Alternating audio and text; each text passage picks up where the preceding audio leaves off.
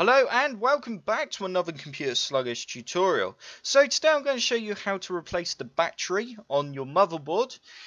Basically if your computer keeps losing its time, its date or any motherboard settings then that is the sign that your battery is flat and you need to replace it.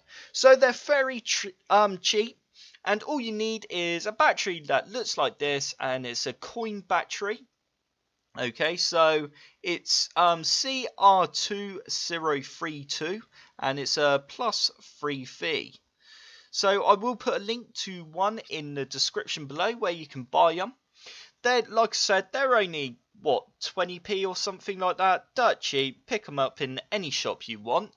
So, to do this, you need to remove your old battery. So, you need to locate it on your motherboard. So, mine is right there. Okay, so as you can see, it's right there. So now there's normally a clip or something that holds it into place. So you simply need to push the clip back and then you need to pull the battery up. So I'm just going to put that down quick so it's easier. So like that. So and then it just clips out of place and then you're going to now do the exactly the same to replace it. So you just need to pull back and you just need to push down until it slots in nicely. And that is it. It's as simple as that.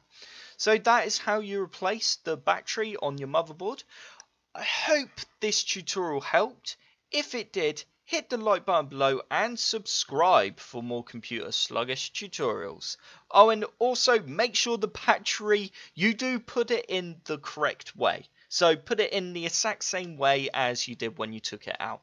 Okay, so yeah, that is it. Um, like I said, like this video and subscribe for more tutorials.